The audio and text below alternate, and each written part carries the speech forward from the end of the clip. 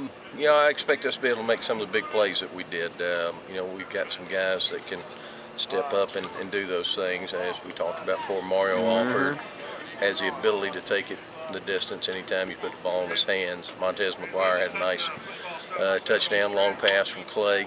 Um, you know, he's that type of guy. We got a lot of receivers, uh, frankly, that can do some big things. You know, we didn't get the ball to JoJo till late, number two. You know, down here made a great play. You know, and got just enough the block to spring him, and he's going to be an extremely dynamic player. And um, I mean, we, we've got a bunch of guys can do some things at receiver, and that's nice. Almost you don't have enough balls to, to spread it around.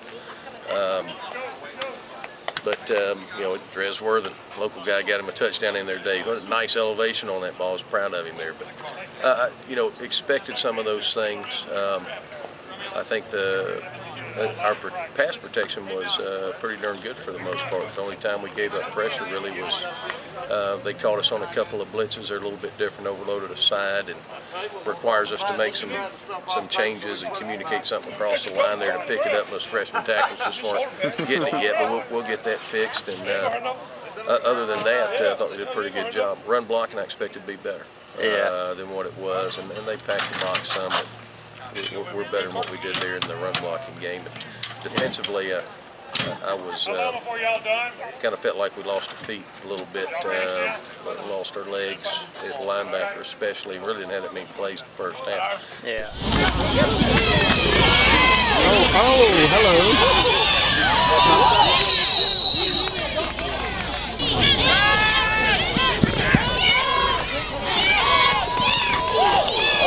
PAT field goal, that last block. I mean, just Yeah, that, that- was a pure alignment problem that uh, we preach day in, day out. It's a process. It's bam, bam, bam. Everything's good.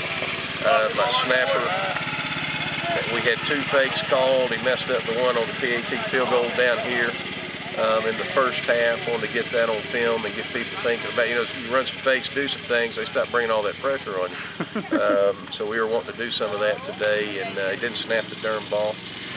Um, and it was wide open. And we had three guys in the, I mean, Yep. or two guys, excuse me, I only sent two out. That they were uncovered. All he had to do was stand up and here it is a two-point conversion, and uh, that was disappointing. And then uh, we had a fake called, and we tipped it, uh, and they were not ready for it until they tipped it, and they saw it, and we just so had to call it off. Uh, so uh, you know, we had some things we wanted to do that we got a little. Sometimes we just got a little overexcited, but uh, kickoff return did a pretty good job uh, when they had to do that. Obviously, uh, our guys reacted well and, and handled the onsides there at the end, but we had some miscues there as well that were disappointing.